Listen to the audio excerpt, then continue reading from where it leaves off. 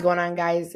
It is Sports Today here with another video, and today I am doing another NFL record predictions video for the Carolina Panthers. Yes, I mean the Carolina Panthers.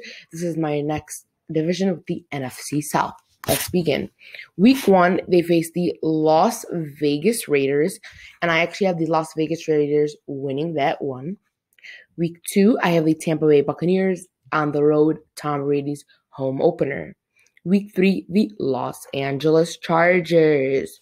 And in that week, I have the LA Chargers winning. Week four, the Arizona Cardinals. And that week, I have the Carolina Panthers, first win of their year.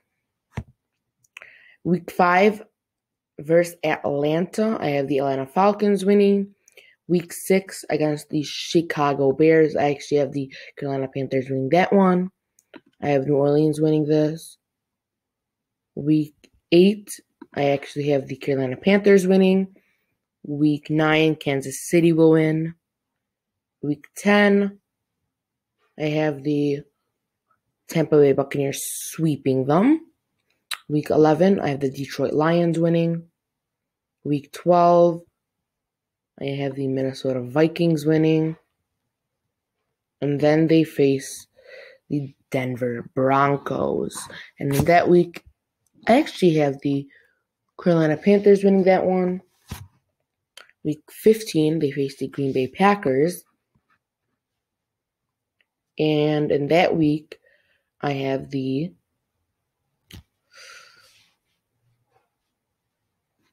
Green Bay Packers winning. I have the Washington Redskins winning. And I have the Saints sweeping them as well. So I have them going 4 and 12. I know it might be unexpected, but that's just how I see them going. I don't think they're going to be a contender this year. I think they're just rebuilding, even though they do have a competent quarterback in the free agent signing of Teddy Bridgewater. They do still have Chris McCaffrey and DJ Moore. Um, and they did get in the draft Derrick Brown to fix up their defensive line and the Gross Matos for that um, defensive end position. But I still think they're going to rebuild this year and they're going to go 4 and 12. That's my record prediction for the Carolina Panthers. I hope you enjoy.